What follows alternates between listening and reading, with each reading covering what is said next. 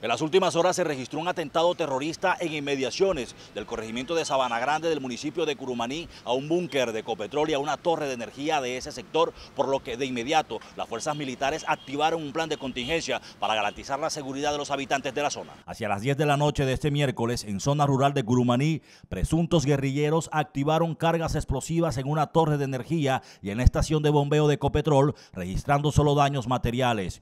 La estructura de energía alcanzó a doblarse tras la explosión, pero no afectó el servicio en la población, mientras que en el búnker de Copetrol se afectaron los cimientos de un muro en construcción. Tropas militares se trasladaron hasta la zona para reforzar la seguridad.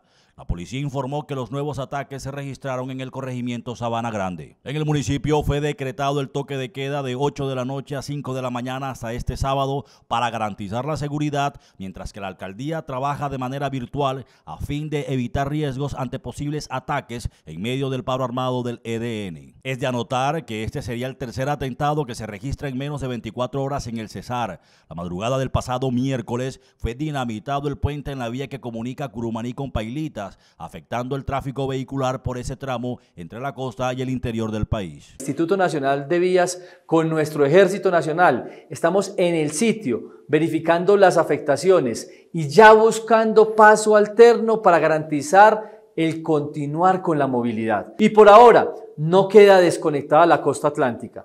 La conexión entre la costa atlántica y el interior del país lo podemos realizar a través de la transversal Momposina, en el sector del Burro, hacia Tamalameque, el Banco, saliendo hacia Bosconia para llegar nuevamente a la Ruta del Sol o saliendo hacia Magangué para salir por la vía del Cruz del Viso. Esos dos corredores viales se plantean como alternativa en la movilidad, que de pronto pueden tener un mayor recorrido, pero no generamos desconexión de esta importante zona del país.